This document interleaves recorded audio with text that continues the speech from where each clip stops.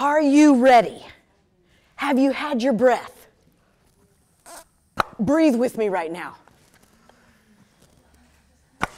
Are you connected to source?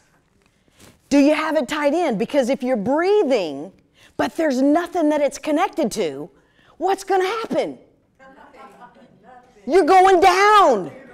You are going down. Now, there's one other thing. You also need to know what are you tracking? And when you're in your little 7-year-old, what you want to know that you have all your tools in place. All these wires are connected to something. And you have your systems in place holding you so that you get to win so that you get to be successful as a parent, as an entrepreneurial mom. So, what I want to do is offer you the opportunity to come check out your systems.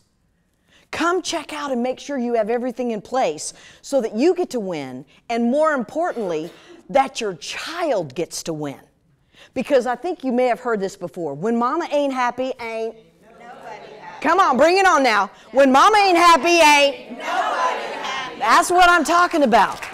So we need to make sure that we are dialed, we are styled, we have our systems in check. So come check out drbeth.com.